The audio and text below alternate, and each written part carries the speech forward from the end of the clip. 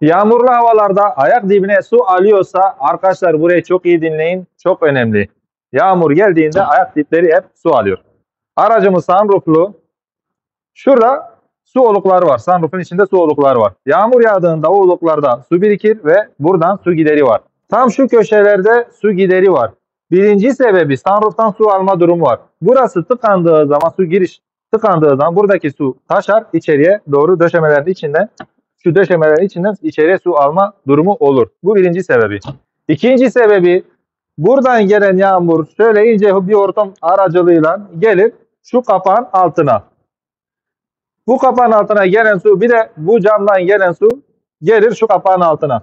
Bak şurada su gideri var. Kapağın altında da ince bir tane hortum var. Oradan aşağı doğru normalde su akması lazım. Eğer burası da tıkanırsa buradaki su içinde göletleşir ve içeriye doğru su sızmaya başlar.